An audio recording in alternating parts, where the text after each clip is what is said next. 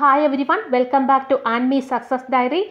ഇന്നത്തെ village field assistant പരിശീലന ക്ലാസ്സിൽ നമ്മൾ പഠിക്കാനായിട്ട് പോകുന്നത് S C R T test based classes ആണ്. ഇപ്പം കഴിഞ്ഞ ക്ലാസ്സുകളിൽ നമ്മൾ ചെയ്തിരുന്നത് പി എസ് സിയെ അറിഞ്ഞു പഠിക്കാൻ അല്ലെങ്കിൽ പി എസ് സിയെ ഇഷ്ടപ്പെട്ട് പഠിക്കുന്നതിന് വേണ്ടിയിട്ട് കുറേ പ്രീവിയസ് ഇയർ ക്വസ്റ്റ്യൻ പേപ്പേഴ്സ് നമ്മൾ ചെയ്തിട്ടുണ്ടായിരുന്നു. അപ്പോൾ ആ ടെസ്റ്റ് ആ ക്വസ്റ്റ്യൻ പേപ്പേഴ്സും അതുപോലെ തന്നെ കുറേ ജനറൽ നോളജ് ഒക്കെ വർക്കൗട്ട് ചെയ്തിട്ടുണ്ടായിരുന്നു. അപ്പോൾ ആ ഒരു ക്വസ്റ്റ്യനിലൂടെ നിങ്ങളെല്ലാം തന്നെ പി എസ് സി എന്താണ് എന്ന് മനസ്സിലാക്കിയെന്ന് ഞാൻ വിശ്വസിക്കുന്നു. അപ്പോൾ ഇനി നമ്മൾ പ്രധാനമായിട്ടും ചെയ്യേണ്ടത് തൊട്ട് മുന്നേ നമ്മൾ L D C L G S main examination കണ്ടു. അതുപോലെ ഡിഗ്രി പ്രിലിംസ് ഒക്കെ കണ്ടപ്പോൾ അതിൽ നിന്നെല്ലാം നമുക്ക് മനസ്സിലായ പ്രധാനപ്പെട്ട കാര്യം കാര്യം എന്താണെന്ന് വെച്ചാൽ നമ്മൾ S C R T text book എത്രമാത്രം മനസ്സിലാക്കി പഠിക്കുന്നുണ്ടോ അത്രമാത്രം നമുക്ക് എക്സാമിന് നല്ല രീതിയിൽ പെർഫോം ചെയ്യാനായിട്ട് പറ്റും.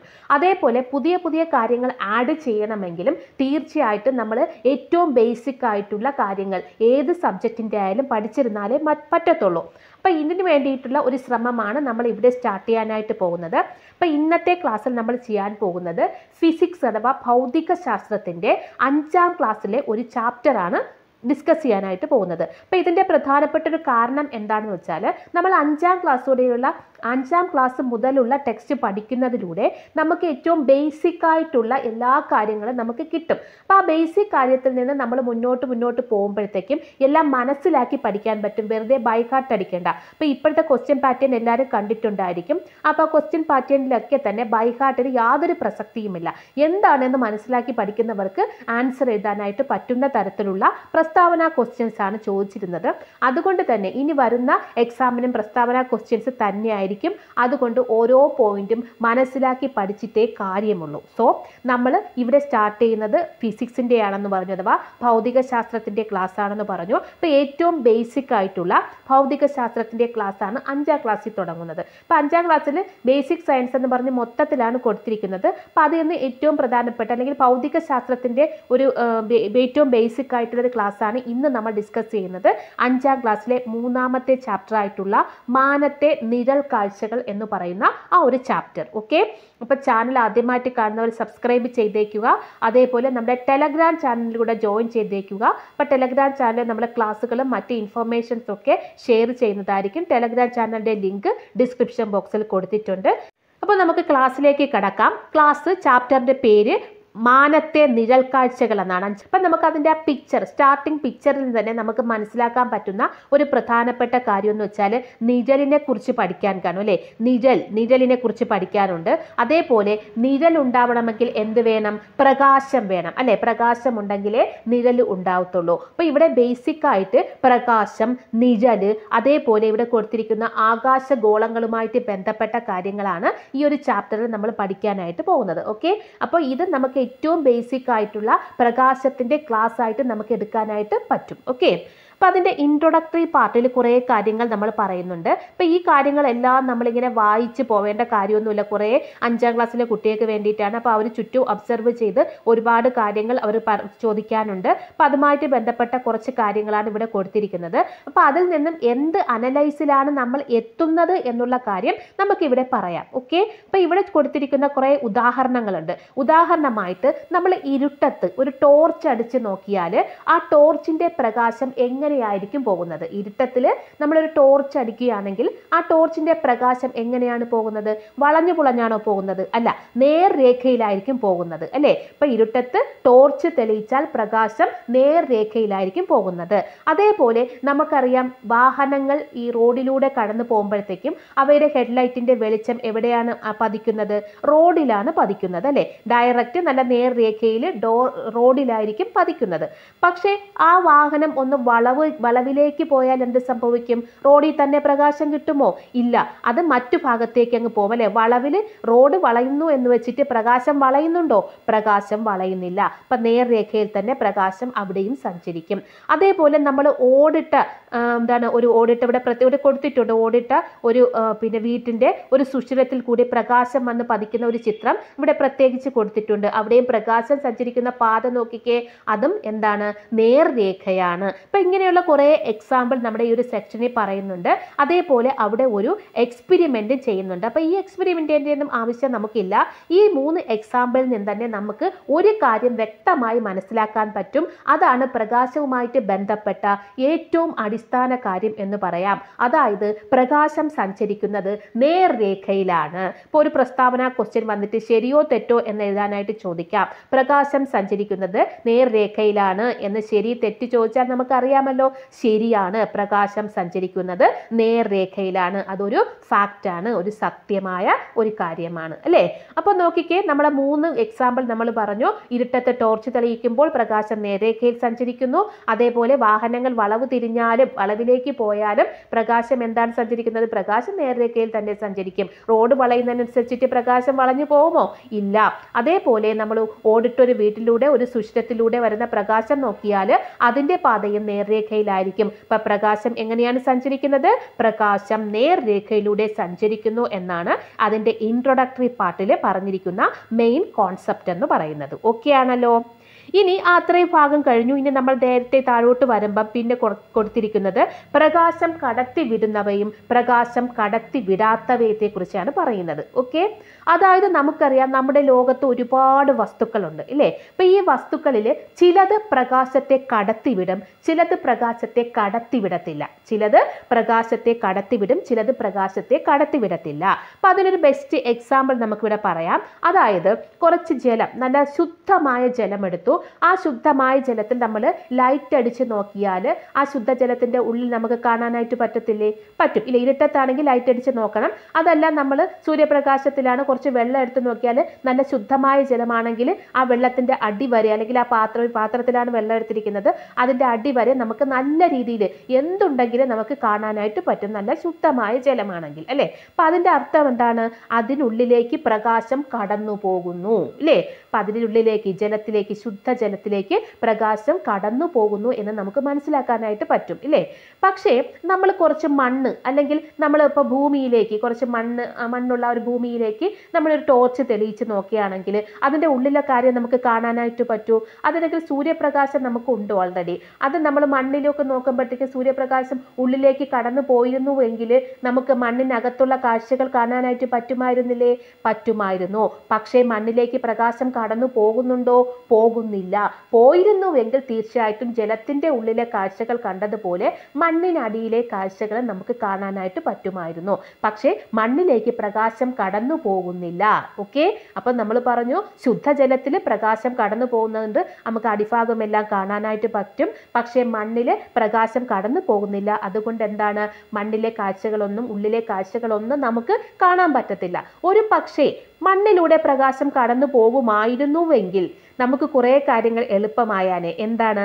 അതായത് നമുക്ക് മണ്ണിനടിയിൽ എവിടെ ജലമുണ്ടെന്ന് അറിഞ്ഞിട്ട് അവിടെ തന്നെ നമുക്ക് കുഴിച്ച് നമുക്ക് കിണറുണ്ടാക്കാം. അതേപോലെ മണ്ണിനടിയിൽ എവിടെയെങ്കിലും സ്വർണമോ വെള്ളിയോ ഒക്കെ ഉണ്ടെങ്കിൽ നമുക്ക് അവിടെ നിന്ന് ലൈറ്റ് അടിച്ച് നോക്കി കുഴിച്ചെടുക്കാനായിട്ട് പറ്റും അല്ലേ? അതേപോലെ പിന്നെ ചെടികളുടെ വേരുകളും അതുപോലെ മണ്ണിനടിയിലുള്ള കാഴ്ചകളെല്ലാം നമുക്ക് കാണാൻ പറ്റുമായിരുന്നു. പക്ഷേ പ്രകാശം മണ്ണ് പ്രകാശത്തെ കടത്തിവിടാത്തത് കൊണ്ട് ഈ കാഴ്ചകളൊന്നും നമുക്ക് കാണാനായിട്ട് പറ്റത്തില്ല. അപ്പം ജലം പ്രകാശത്തെ കടത്തിവിടുന്നു അതേപോലെ മണ്ണ് പ്രകാശത്തെ കടത്തിവിടുന്നില്ല ഇങ്ങനെ നമ്മുടെ ലോകത്ത് നമ്മുടെ ഭൂമിയിൽ നമ്മുടെ പ്രപഞ്ചത്തിൽ ഒരുപാട് വസ്തുക്കളുണ്ട്. ചില വസ്തുക്കൾ പ്രകാശത്തെ കടത്തിവിടുന്നു ചില വസ്തുക്കൾ പ്രകാശത്തെ കടത്തിവിടുന്നില്ല.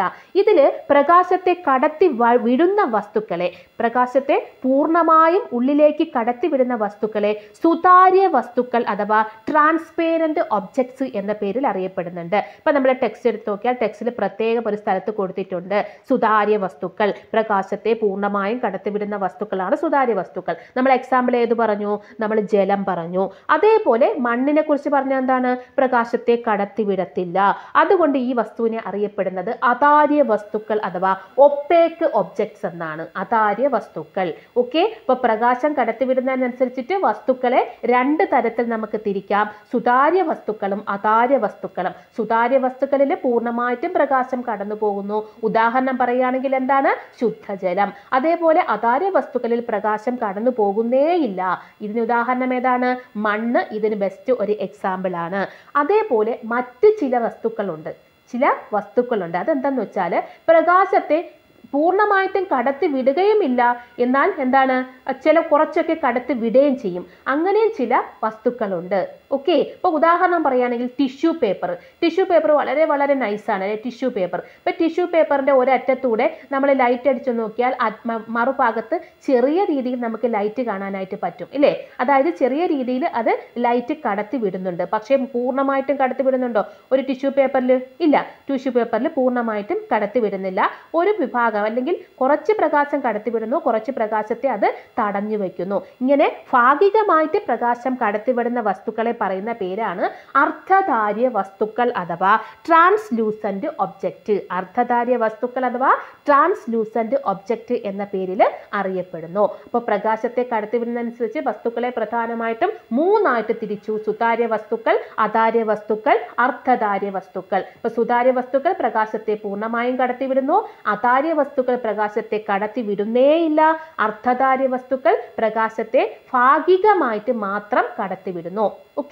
അപ്പൊ ഇനി നമുക്ക് ഇതിനെക്കുറിച്ച് കൂടുതൽ എക്സാമ്പിളും കൂടെ ജസ്റ്റ് ഒന്ന് പഠിച്ചു പോകാം. സുതാര്യ വസ്തുവിന് മറ്റ് ചില എക്സാമ്പിളൂടെ നമുക്ക് പറയാം.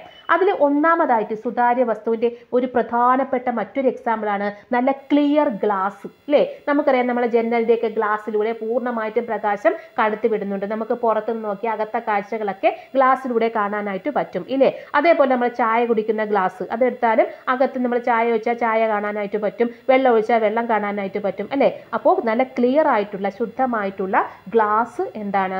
പ്രകാശത്തെ പൂർണമായിട്ടും കടത്തിവിടുന്ന ഒരു സുതാര്യ വസ്തുവാണ്.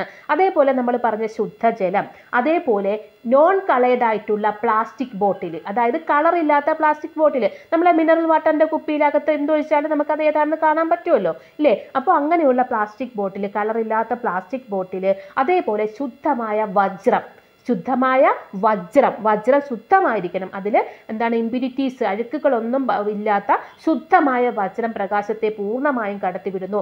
അതേപോലെ ലെൻസ് നമ്മൾ കണ്ണടകളിലൊക്കെ ഉപയോഗിക്കുന്ന ലെൻസ് ഉണ്ടല്ലോ. നമുക്ക് കണ്ണടയിൽ കാഴ്ച കാണാൻ പുറത്തുള്ള കാഴ്ചകൾ കാണാൻ പറ്റത്തില്ലേ? അപ്പോൾ ആ ലെൻസ് എന്താണ്? പൂർണമായിട്ടും കടത്തിവിടുന്ന സുതാര്യ വസ്തുവാണ്. അതേപോലെ നല്ല ക്ലിയർ ശുദ്ധമായ വായു ഇല്ലേ?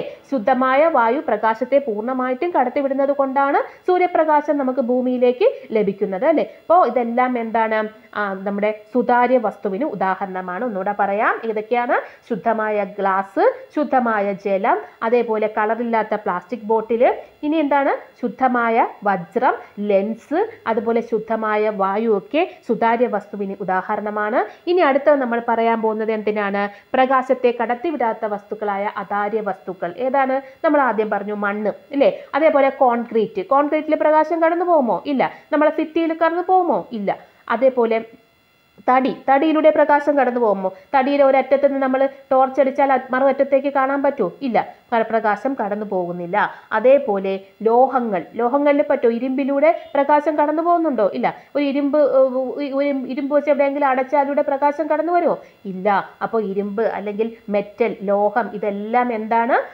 അതെല്ലാം എന്താണ്? അതാര്യ വസ്തുക്കളാണ് എന്ന് നമുക്ക് പറയാം. അതേപോലെ നമ്മൾ ട്രാൻസ്ലൂസന്റ് അഥവാ അർത്ഥധാര്യ വസ്തുക്കൾക്ക് ഉദാഹരണം പറഞ്ഞു ടിഷ്യൂ പേപ്പർ അതേപോലെ സൺഗ്ലാസ്. നമ്മൾ സൺഗ്ലാസ് വെച്ചാൽ നമുക്ക് എന്താണ് നല്ല ക്ലിയർ ആയിട്ട് നമുക്ക് എല്ലാം കാണാൻ പറ്റുമോ ഇല്ല. ഒരു ഇരുണ്ട രീതിയിലായിരിക്കും നമുക്ക് കാഴ്ചകൾ കാണാൻ പറ്റും. പക്ഷേ ഒരു ഇരുണ്ട രീതിയിലായിരിക്കും നമുക്ക് കാഴ്ചകളെല്ലാം കാണാൻ പറ്റുന്നത്. അപ്പോൾ സൺഗ്ലാസ് എന്തിന് ഉദാഹരണമാണ്? ഈ ഒരു അർത്ഥധാര്യ വസ്തുവിന് ഉദാഹരണമാണ്. ഓക്കെ ആണല്ലോ? സുതാര്യ വസ്തുക്കളും അധാര്യ വസ്തുക്കളും അർദ്ധധാര്യ വസ്തുക്കളും മനസ്സിലായല്ലോ? ഇനി നമ്മൾ താഴോട്ട് കടന്നു പോകുമ്പോഴത്തേക്കും പിന്നെ ചില പ്രസ്താവനകൾ കൊടുത്തിട്ടുണ്ട്. ഈ പ്രസ്താവനകൾ മസ്റ്റായിട്ട് നമ്മൾ മനസ്സിലാക്കിയിരിക്കണം. കാരണം ഇങ്ങനെയുള്ള ക്വസ്റ്റ്യൻ ആണ് സാധാരണ പി എസ് സി ചോദിക്കുന്നത്. അതായത് ഒന്നാമതായിട്ട് ചോദിക്കുന്ന ഒരു ക്വസ്റ്റ്യൻ ആണ് കരപദാർത്ഥങ്ങൾ എല്ലാം അതാര്യ വസ്തുക്കളാണോ? കഥ കരപദാർത്ഥങ്ങൾ എല്ലാം അതാര്യ വസ്തുക്കളാണോ? അതായത് നമ്മൾ പറഞ്ഞു ലോഹവും കോൺക്രീറ്റും അതേപോലെ മണ്ണും എല്ലാം എന്താണ്? കരപദാർത്ഥങ്ങളാണ്. ഈ കരപദാർത്ഥങ്ങളിലൂടെ പ്രകാശം കടന്നു പോകുന്നില്ല എന്ന് പറഞ്ഞു. എന്ന് വെച്ചിട്ട് എല്ലാ കരപദാർത്ഥങ്ങളും അതാര്യ വസ്തുക്കളാണോ? പ്രകാശം കടത്തിവിടാത്തവയാണോ അല്ല. അതായത് നമ്മൾ നേരത്തെ പറഞ്ഞു ഡയമണ്ട് അല്ലെങ്കിൽ വജ്രം. അല്ലേ വജ്രം എന്ന് പറയുന്നത് എന്താണ്? ഒരു കരവസ്തുവാണ്. കരവസ്തു അതിലൂടെ പ്രകാശം കടന്നു പോകുന്നുണ്ടല്ലോ. അതൊരു സുതാര്യ വസ്തുവാണല്ലോ. അപ്പോൾ അതൊരു സുതാര്യ വസ്തുവാണ്. അതേപോലെ ഗ്ലാസ്. ഗ്ലാസും എന്താണ്? കരപദാർത്ഥമാണ്. എന്നിരുന്നാലും അതൊരു സുതാര്യ വസ്തുവാണ്. അതുകൊണ്ട് ആ പ്രസ്താവന ശരിയാണോ? ശരിയല്ല. എല്ലാ കരപദാർത്ഥങ്ങളും അതാര്യ വസ്തുക്കൾ അല്ല. ചില കരപദാർത്ഥങ്ങൾ എന്താണ്? സുതാര്യ വസ്തുക്കളാണ്. അപ്പൊ എല്ലാ കരപദാർത്ഥങ്ങളും അതാര്യ വസ്തുക്കളാണ് എന്ന് പറയുന്ന ഒരു പ്രസ്താവന തന്നാൽ അത് തെറ്റാണ്. ഓക്കെ. ഇനി അടുത്ത ക്വസ്റ്റ്യൻ സുതാര്യങ്ങളായ ദ്രാവകങ്ങളില്ലേ? സുതാര്യങ്ങളായ ദ്രാവകങ്ങളില്ലേ? ഇല്ലേ സുതാര്യങ്ങളായ ദ്രാവകങ്ങളുണ്ടല്ലോ. ഉദാഹരണം ഏതാണ്? നമ്മൾ പറഞ്ഞു ശുദ്ധമായ വെള്ളം. അല്ലേ ശുദ്ധമായ വെള്ളം എന്താണ്? സുതാര്യമാണ്. ശുദ്ധമായ വെള്ളത്തിലൂടെ പ്രകാശം കടന്നു പോകും. അതുകൊണ്ട് എന്താണ് സുതാര്യമാണ്? അതുകൊണ്ട് സുതാര്യമായ ദ്രാവകങ്ങൾ ഉണ്ട് സുതാര്യ ദ്രാവകങ്ങൾ ഉണ്ട് അതാര്യ ദ്രാവകങ്ങളില്ലേ? അടുത്ത ക്വസ്റ്റ്യൻ അതാര്യ ദ്രാവകങ്ങളില്ലേ? ഇപ്പം നമ്മൾ പറഞ്ഞു ശുദ്ധജലത്തിലൂടെ ജലം പ്രകാശം കടന്നു പോകും. അതുകൊണ്ട് അതൊരു സുതാര്യ വസ്തുവാണെന്ന് പറഞ്ഞു. എന്ന് വെച്ചിട്ട് എല്ലാ ദ്രാവകങ്ങളും സുതാര്യ വസ്തുക്കളാണോ? അല്ല. സുതാര്യമല്ലാത്ത ഒരുപാട് വസ്തുക്കൾ ഒരുപാട് എന്താണ് ദ്രാവകങ്ങളുണ്ട്. ഉദാഹരണം പറയുകയാണെങ്കിൽ എന്താണ്? നമ്മുടെ എന്താണ്? കുറച്ച് ചെളി കലക്കിയ വെള്ളം. ചെളി കലക്കിയ വെള്ളം എടുത്തു വെച്ചാൽ നമുക്ക് അതിന്റെ അടിയിലെ കാഴ്ചകൾ കാണാൻ പറ്റുമോ? ഇല്ല. ചെളി വെള്ളത്തിൽ കാണാനായിട്ട് പറ്റത്തില്ല അല്ലേ കുറച്ച് മണ്ണ് കുറച്ച് വെള്ളത്തിൽ കലക്കിയാലും നമുക്ക് പറ്റത്തില്ല. അതേപോലെ മറ്റൊന്നാണ് കരിവോയിൽ കരിവോയിൽ ദ്രാവകാവസ്ഥയിലാണ് ഇരിക്കുന്നത് അല്ലേ? കരിവോയിൽ ദ്രാവകാവസ്ഥയിലാണ് ഇരിക്കുന്നത്. പക്ഷേ കരിവോയിലൂടെ പ്രകാശം കടന്നു പോകുമോ? ഇല്ല. കരിവോയിൽ എവിടെയെങ്കിലും വെച്ചിരുന്ന ഏതെങ്കിലും പാത്രത്തിൽ വെച്ചിരുന്ന അപ്പുറത്തെ വശം നമുക്ക് കാണാനായിട്ട് പറ്റുമോ? ഇല്ല. അപ്പം കരിവോയിൽ എന്താണ് പ്രകാശം കടത്തിവിടത്തില്ല. അതുകൊണ്ട് എന്താണ് ദ്രാവകങ്ങളിലും എന്തുണ്ട്? അതാര്യ വസ്തുക്കളുണ്ട് ദ്രാവകങ്ങളിലും അതാര്യ വസ്തുക്കളുണ്ട്. അടുത്തത് ദ്രാവകങ്ങളിൽ അർത്ഥധാര്യങ്ങളുണ്ടോ? ദ്രാവകങ്ങളിൽ അർത്ഥധാര്യങ്ങളുണ്ടോ? അർത്ഥധാര്യങ്ങൾ എന്ന് വെച്ചാൽ എന്താണ്? പൂർണമായിട്ടും പ്രകാശത്തെ കടത്തിവിടാത്ത സോറി എന്താണ്? ഭാഗികമായിട്ട് മാത്രം പ്രകാശത്തെ കടത്തിവിടുന്നതാണ് അർത്ഥധാര്യ വസ്തുക്കൾ എന്ന് പറയുന്നത്. അപ്പോൾ ഈ ദ്രാവകങ്ങളിൽ അർത്ഥധാര്യ വസ്തുക്കൾ ഉണ്ടോ എന്നാണ് അടുത്ത ക്വസ്റ്റ്യൻ ചോദിച്ചിരിക്കുന്നത്. ഉണ്ട്. അതായത് എല്ലെന്ന തേൻ തുടങ്ങിയവ ദ്രാവകങ്ങളിലെ അർത്ഥധാര്യ വസ്തുക്കളാണ്. തേനിലൊക്കെ എങ്ങനെയാണ്? പ്രകാശത്തെ ഭാഗികമായിട്ട് മാത്രമേ കടത്തിവിടത്തുള്ളൂ. തേനിൽ എള്ളെണ്ണ തുടങ്ങിയവ എന്താണ്? ദ്രാവകങ്ങളിലെ അർത്ഥധാര്യ വസ്തുക്കളാണ്. അതേപോലെ വാതകങ്ങൾ പൊതുവെ സുതാര്യങ്ങളല്ലേ? വാതകങ്ങളെല്ലാം സുതാര്യങ്ങളാണോ? ഇപ്പൊ വായു നമ്മൾ പറഞ്ഞു സുതാര്യമാണെന്ന് പറഞ്ഞു. പക്ഷേ എല്ലാ വാതകങ്ങളും സുതാര്യമല്ല.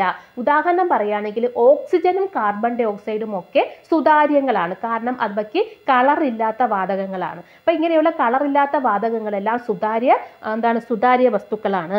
പക്ഷേ സുതാര്യ വാതകങ്ങളാണെന്ന് പറയാം. പക്ഷേ കളറുള്ള വാതകങ്ങളുണ്ട്. ഈ വാതകങ്ങളെല്ലാം എന്തല്ല സുതാര്യ വാതകങ്ങളല്ല ഓക്കെ അപ്പം നമ്മൾ ഈ നാല് അല്ലെങ്കിൽ അഞ്ച് ആ പ്രസ്താവനകളിൽ നിന്ന് നമുക്ക് ഒരു കാര്യം മനസ്സിലാക്കാനായിട്ട് പറ്റും. ഖരം ദ്രാവകം വാതകം. ഇതിൽ മൂന്നിലും സുതാര്യ വസ്തുക്കളുമുണ്ട് അതാര്യ വസ്തുക്കളുമുണ്ട് അർത്ഥധാര്യ വസ്തുക്കളുമുണ്ട്. അതായത് എല്ലാ കരവസ്തുക്കളും സുതാര്യങ്ങളല്ല അതാര്യങ്ങളുമല്ല അർത്ഥധാര്യങ്ങളുമല്ല ഇത് മൂന്നും എല്ലാ കരപദാർത്ഥങ്ങളിലുമുണ്ട്.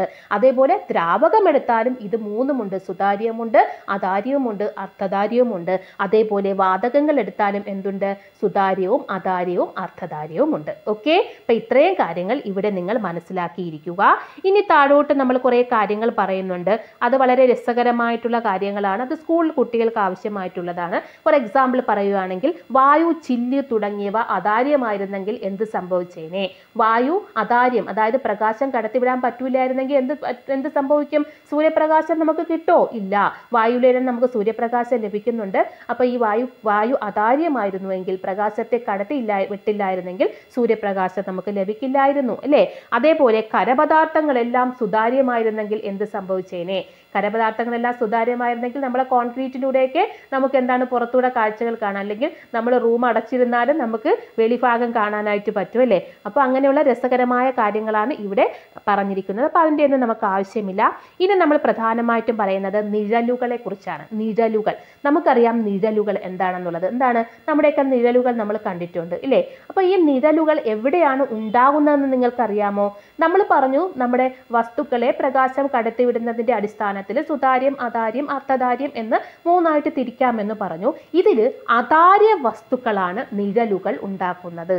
അതാര്യ വസ്തുക്കളാണ് നിഴലുകൾ ഉണ്ടാക്കുന്നത്. അതാര്യ വസ്തുക്കളിൽ പ്രകാശം വന്ന് പതിക്കുമ്പോഴത്തേക്കും അതാര്യ വസ്തുവിലൂടെ പ്രകാശം കടന്നു പോകുമോ? ഇല്ല. അതിന്റെ ഫലമായിട്ട് അവിടെ എന്തുണ്ടാകുന്നു? നിഴലുകൾ ഉണ്ടാകുന്നു. അപ്പോൾ ഇവിടെ പ്രത്യേകം മനസ്സിലാക്കിയിരിക്കേണ്ട മറ്റൊരു പോയിന്റാണ് എന്തെന്ന് പറയുന്നത്? നിഴലുകൾ ഉണ്ടാക്കുന്നത് ഏത് വസ്തുക്കളാണ്? അതാര്യ വസ്തുക്കളാണ് ഇപ്പൊ നമ്മളൊരു ഗ്ലാസ് എടുത്തു. അപ്പൊ ആ ഗ്ലാസ്സിലൂടെ പ്രകാശം കടന്നു പോകുന്നത് കൊണ്ട് അവിടെ നിഴലുണ്ടാവത്തില്ല അല്ലേ? നിഴൽ ഉണ്ടാവത്തില്ല. പ്രകാശം കടന്നു പോവുകയാണ് അവിടെ നിഴൽ ഉണ്ടാവത്തില്ല. പക്ഷേ നമ്മുടെ അതാര്യ വസ്തുക്കളിലാണെങ്കിൽ പ്രകാശം കടന്നു പോകാത്തത് കൊണ്ട് ആ ഭാഗത്ത് എന്തുണ്ടാകുന്നു? നിഴലുണ്ടാകുന്നു. അപ്പോൾ ഇവിടെ മറ്റൊരു പ്രസ്താവന വരാം. എന്താണ്? അതാര്യ വസ്തുക്കളാണ് നിഴലുകൾ ഉണ്ടാക്കുന്നത് എന്ന് ചോദിച്ചാൽ പ്രസ്താവന ശരിയാണോ തെറ്റാണോ?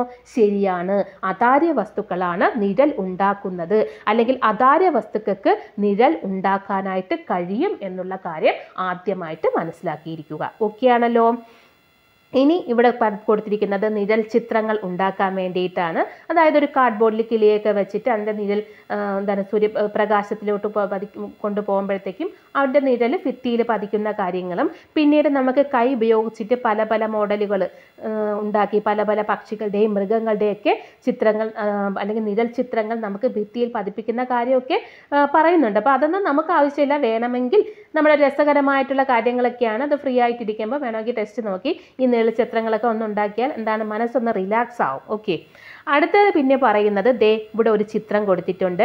നിഴൽ പാവക്കൂത്ത് എന്ന് പറയുന്ന ഒരു ചിത്രം. നിഴൽ പാവക്കൂത്ത്. ഓക്കെ എന്താണ് ഈ നിഴൽ പാവക്കൂത്ത് എന്ന് വെച്ചാൽ നമ്മൾ ഇത്രയും നാൾ വിചാരിച്ചിരുന്നത് നിഴലിന് ഒരു ഉപയോഗം ഇല്ലെന്നാണ് വിചാരിച്ചത് അല്ലേ?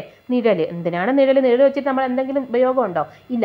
നിഴൽ വെച്ചിട്ട് ഉപയോഗപ്പെടുത്തിക്കൊണ്ടുള്ള അല്ലെങ്കിൽ നിഴലിനെ ഉപയോഗപ്പെടുത്തി നടത്തുന്ന ഒരു ദൃശ്യ കലാവിരുന്നാണ് നിഴൽ പാവക്കൂത്ത് എന്ന് പറയുന്നത്. ഓക്കെ അപ്പോൾ ആ നിഴൽ വിറ്റും ആൾക്കാർ പൈസ ഉണ്ടാക്കുന്നു എന്നുള്ള കാര്യം ഓർമ്മിച്ചിരിക്കുക അപ്പോൾ എന്താണ്? നിഴൽ ഉപയോഗിച്ചിട്ടുള്ള എന്താണ്? ഒരു ദൃശ്യ കലാവിരുന്നാണ് എന്തെന്ന് പറയുന്നത്? നിഴൽ പാവക്കൂത്ത് എന്ന് പറയുന്നത്. അപ്പം നിഴലിനും ഉപയോഗമുണ്ട് എന്നുള്ള കാര്യം നിങ്ങൾക്ക് മനസ്സിലായല്ലോ?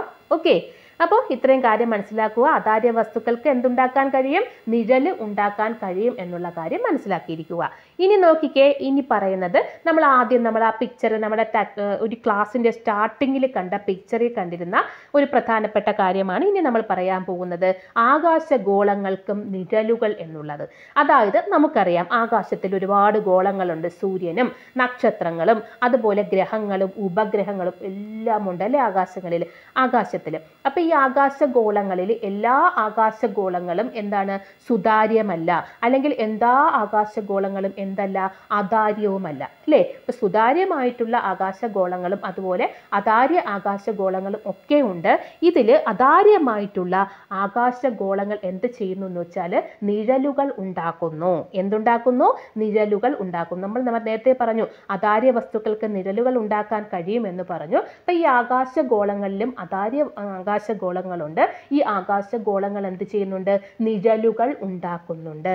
ഓക്കെ? അപ്പൊ ഈ ആകാശഗോളങ്ങൾ നിഴലുകൾ ഉണ്ടാക്കുന്നത് കൊണ്ട് തന്നെ നമുക്കറിയാം ഒരു ആകാശഗോളത്തിന്റെ നിഴൽ മറ്റൊരു ആകാശഗോളത്തിൽ പതിക്കാൻ ചാൻസ് ഇല്ലേ? ഉണ്ട്. അതായത് ഭൂമിക്ക് ഒരു നിഴൽ ഉണ്ടാവുകയാണെങ്കിൽ ഭൂമിയുടെ നിഴൽ ഭൂമിക്ക് അടുത്തുള്ള ചന്ദ്രനിൽ പതിക്കാം. അതല്ലെങ്കിൽ ഭൂമിയുടെ നിഴൽ എന്താണ്? അടുത്തുള്ള പിന്നെ എന്താണ്? ചൊവ്വയിൽ ശുക്രനിലും ഒക്കെ പതിക്കാനായിട്ട് പറ്റും ഇല്ലേ? അപ്പോൾ ഇങ്ങനെ ആകാശ അതേപോലെ ശുക്- ശുക്രന്റെ നിഴലുണ്ടെങ്കിൽ അത് എന്താണ്? അടുത്ത ഗ്രഹത്തിലോട്ട് പതിക്കാനുള്ള ചാൻസ് ഉണ്ട് ഇല്ലേ? അപ്പോൾ ഇങ്ങനെ ആകാശഗോളങ്ങൾക്ക് നിഴലുകളുണ്ട്. ഈ ആകാശഗോളങ്ങളിലെ നിഴലുകൾ ഒരു ആകാശഗോളത്തിന്റെ നിഴൽ മറ്റൊരു ആകാശഗോളത്തിന്റെ നിഴലിൽ പതിക്കുമ്പോഴാണ് ഗ്രഹണം എന്ന് പറയുന്ന സംഭവം ഉണ്ടാവുന്നത്. നമ്മൾ കേട്ടിട്ടുണ്ട് സൂര്യഗ്രഹണവും ചന്ദ്രഗ്രഹണവും ഒക്കെ കേട്ടിട്ടുണ്ട്. അപ്പം നമുക്ക് സൂര്യഗ്രഹണം ചന്ദ്രഗ്രഹണം എന്നൊക്കെ പറയുമ്പോഴത്തേക്ക് എന്താണ്? ആകെ ഒരു ഭീതിയാണ്. എന്തൊക്കെ സംഭവിക്കാൻ പോവുകയാണ്? അങ്ങനെ ഒന്നുമല്ല. ഇതെന്താണ്? അത് ഒരു നിഴൽ കാഴ്ച മാത്രമാണ് ഈ ഗ്രഹണം എന്ന് പറയുന്നത്. അതായത് ആകാശഗോളങ്ങളുടെ നിഴലുകൾ ഒരു ആകാശഗോളത്തിന്റെ നിഴൽ മറ്റൊരു ആകാശഗോളത്തിൽ പതിക്കുമ്പോൾ ഉണ്ടാകുന്ന ആ ഒരു കാഴ്ച നിഴൽ കാഴ്ചയാണ് എന്തെന്ന് പറയുന്നത് ഗ്രഹണം എന്ന് പറയുന്നത്. അപ്പൊ ഇതിൽ നമ്മൾ പ്രധാനമായിട്ടും കണ്ടിട്ടുള്ളത് എന്താണ്? നമ്മുടെ ഭൂമിയുമായിട്ട് ബന്ധപ്പെട്ട രണ്ട് ഗ്രഹണങ്ങളാണ്. ഏതൊക്കെയാണ്? സൂര്യഗ്രഹണവും ചന്ദ്രഗ്രഹണവും. ഓക്കെ? സൂര്യഗ്രഹണവും ചന്ദ്രഗ്രഹണവും. അപ്പൊ സൂര്യഗ്രഹണവും ചന്ദ്രഗ്രഹണവും എന്താണെന്നും കൂടെ പഠിക്കുമ്പോൾ നമ്മുടെ ഈ ഒരു ചാപ്റ്റർ തീരും. ഓക്കെ? അപ്പോൾ ഇതിൽ നമ്മൾ ആദ്യം പഠിക്കാൻ പോകുന്നത് സൂര്യഗ്രഹണത്തെക്കുറിച്ചാണ്. സൂര്യഗ്രഹണത്തെ ഇംഗ്ലീഷിൽ എന്താണ് പറയുന്നത്? സോളാർ എക്ലിപ്സ് എന്നാണ് പറയുന്നത്. ഓക്കെ ഇനി ആദ്യം മനസ്സിലാക്കുക സൂര്യഗ്രഹണമായാലും ചന്ദ്രഗ്രഹണമായാലും അത് മൂന്നിനും ഉൾപ്പെടുന്നത് ഒരേ ആകാശഗോളങ്ങളാണ്. ഏതൊക്കെയാണ്? സൂര്യനും ഭൂമിയും ചന്ദ്രനും. ആരൊക്കെയാണ്? സൂര്യനും ഭൂമിയും ചന്ദ്രനും അല്ലേ? അപ്പം നമ്മുടെ സൗരയൂഥത്തിലെ പ്രധാനപ്പെട്ട ഒരു നക്ഷത്രമാണ് സൂര്യൻ. അതേപോലെ നമ്മുടെ ഭൂമി നമ്മൾ അധിവസിക്കുന്ന ഭൂമി. അതേപോലെ നമ്മുടെ ചന്ദ്രൻ നമ്മുടെ ഉപഗ്രഹമായിട്ടുള്ള ചന്ദ്രൻ. ഇത് മൂന്നുമാണ് എന്തിലുൾപ്പെടുന്നത്? നമ്മുടെ സൂര്യഗ്രഹണത്തിലും ചന്ദ്രഗ്രഹണത്തിലും ഉൾപ്പെടുന്നത്. ഓക്കെ അപ്പൊ ഇവിടെ എന്താണ് സംഭവിക്കുന്നത് എന്നുള്ളത് ഇവിടെ പിക്ചർ സഹിതം നമ്മളെ ടെക്സ്റ്റ് ബുക്കിൽ കൊടുത്തിട്ടുണ്ട്. ഓക്കെ അപ്പൊ ഇവിടെ എന്താണെന്ന് വെച്ചാൽ നമുക്ക് ആദ്യമേ നമ്മൾ ആദ്യത്തെ സെക്ഷനിൽ പഠിച്ചിട്ടുണ്ടായിരുന്നു പ്രകാശം നേർരേഖയിൽ സഞ്ചരിക്കുന്നു എന്ന് നമ്മൾ പഠിച്ചിട്ടുണ്ടായിരുന്നു. അല്ലേ? അതേപോലെ രണ്ടാമത്തെ സെക്ഷനിൽ നമ്മൾ പഠിച്ചിട്ടുണ്ടായിരുന്നു അതാര്യ വസ്തുക്കൾക്ക് എന്തുണ്ടാക്കാൻ പറ്റുമെന്ന് പറഞ്ഞിരുന്നു? നിഴലുകൾ ഉണ്ടാക്കാൻ പറ്റുമെന്ന് പറഞ്ഞിരുന്നു. അല്ലേ? അപ്പം നമ്മളിവിടെ ആദ്യം പറയാൻ പോകുന്ന എന്താണ്? സൂര്യഗ്രഹണം. അപ്പോൾ ഈ രണ്ട് പോയിന്റുകൾ ആദ്യമേ മനസ്സിലാക്കി വെച്ചിരിക്കുക. അതേപോലെ നമ്മൾ പറഞ്ഞു സൂര്യനും ചന്ദ്രനും ഭൂമിയും ചേർന്നിട്ടാണ് സൂര്യഗ്രഹണവും ചന്ദ്രഗ്രഹണവും ഉണ്ടാകുന്നത് എന്ന് പറഞ്ഞിരുന്നു അപ്പോൾ ഇവിടെ സംഭവിക്കുന്ന എന്താന്ന് വെച്ചാൽ നമ്മുടെ സൂര്യഗ്രഹണത്തിൽ എന്താണ് സംഭവിക്കുന്നതെന്ന് വെച്ചാൽ നമ്മുടെ സൂര്യൻ ഇവിടെയുണ്ട്. ചിത്രത്തിൽ ശ്രദ്ധിച്ചു നോക്കിയാൽ നമുക്ക് മനസ്സിലാക്കാൻ പറ്റും. സൂര്യനുണ്ട് ചന്ദ്രനുണ്ട് ഭൂമിയുണ്ട്. അപ്പം ഈ സൂര്യഗ്രഹണത്തിൽ എന്താണ് സംഭവിക്കുന്നതെന്ന് വെച്ചാൽ സൂര്യനും ഭൂമിക്കുമിടയിൽ ചന്ദ്രൻ നേർരേഖയിൽ വരും. സൂര്യനും ഭൂമിക്കുമിടയിൽ എന്ത് ചെയ്യുന്നു? ചന്ദ്രൻ നേർരേഖയിൽ വരും. അപ്പം നോക്കിക്കേ ആദ്യം സൂര്യനുണ്ട് പിന്നെ ചന്ദ്രൻ അതിനപ്പുറത്ത് ഭൂമി. അതായത് സൂര്യനും ഭൂമിക്കും ഇടയിൽ ആര് നിൽക്കുന്നു? ചന്ദ്രൻ നിൽക്കുന്നു. അപ്പൊ ചന്ദ്രന്റെ ഒരു വശത്ത് എന്ത് സംഭവിക്കും?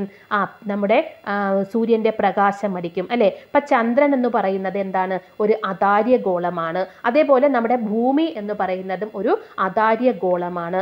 അതുകൊണ്ട് എന്ത് ചെയ്യത്തില്ല? അത് പ്രകാശം കടത്തിവിടത്തില്ല അപ്പൊ ഈ സൂര്യന്റെ പ്രകാശം വന്നടിക്കുന്ന ചന്ദ്രന്റെ ഭാഗം മാത്രം പ്രകാശിക്കുകയും മറുഭാഗത്ത് എന്തുണ്ടാവുകയും ചെയ്യും? നിഴലുണ്ടാവുകയും ചെയ്യും. ചന്ദ്രൻ അതാര്യമാണല്ലോ. അതുകൊണ്ട് തന്നെ എന്ത് സംഭവിക്കും? അവിടെ നിഴലുണ്ടാകും. അപ്പോൾ ആ നിഴൽ എവിടെ വന്ന് പതിക്കും? നമ്മുടെ ഭൂമിയിൽ വന്ന് പതിക്കും. നമ്മുടെ ഭൂമിയിൽ വന്ന് പതിക്കും. അപ്പോൾ എന്ത് സംഭവിക്കും? ആ നിഴൽ പതിക്കുന്ന ഭൂമിയുടെ ഭാഗത്ത് നിന്ന് നോക്കിയാൽ നിഴൽ പതിക്കുന്ന ആ ഭൂമിയുടെ ഭാഗത്ത് നിന്ന് നോക്കിയാൽ നമ്മുടെ സൂര്യനെ കാണാനായിട്ട് കഴിയത്തില്ല. ഈ ഒരു അവസ്ഥ അല്ലെങ്കിൽ ഈ ഒരു ഇതിനെയാണ് എന്തെന്ന് പറയുന്നത്? ചന്ദ്ര സൂര്യഗ്രഹണം എന്ന് പറയുന്നത്. എന്താണ്? സൂര്യഗ്രഹണം എന്ന് പറയുന്നത്. ഇപ്പം നമ്മൾ കേട്ടിട്ടുണ്ട് സൂര്യഗ്രഹണം ചില സ്ഥലങ്ങളിലാണ് പൂർണ സൂര്യഗ്രഹണം. ചില സ്ഥലങ്ങളിൽ ഭാഗികമായിട്ടുള്ള സൂര്യഗ്രഹണം മാത്രമേ ഉള്ളൂ. നമ്മുടെ ലോകത്ത് ഒരുമിച്ചും നമ്മുടെ ഭൂമിയിൽ മുഴുവനും സൂര്യഗ്രഹണം സംഭവിച്ചതായിട്ട് നമുക്കറിയത്തില്ല അല്ലേ?